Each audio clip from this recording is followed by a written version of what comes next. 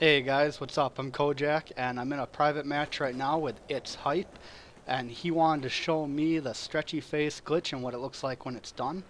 As you can see here, he's doing it right now. Stretches out your face nice and big and what you have to do, it's very simple. You just have to have a class with a riot shield and RPG and all you do is press Y.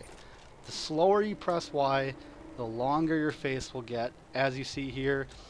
And the faster you press Y, the faster and shorter it is. And uh, it's definitely, I find it pretty funny. But that's it. That's all you have to do.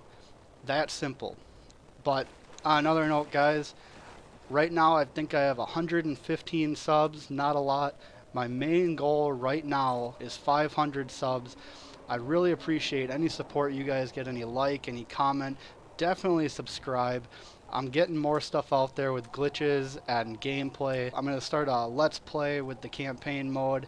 I know there's other people out there doing that, but there's nothing wrong with me doing it as well. I'm open to ideas, but thank you guys for watching, and I hope you guys enjoyed this video.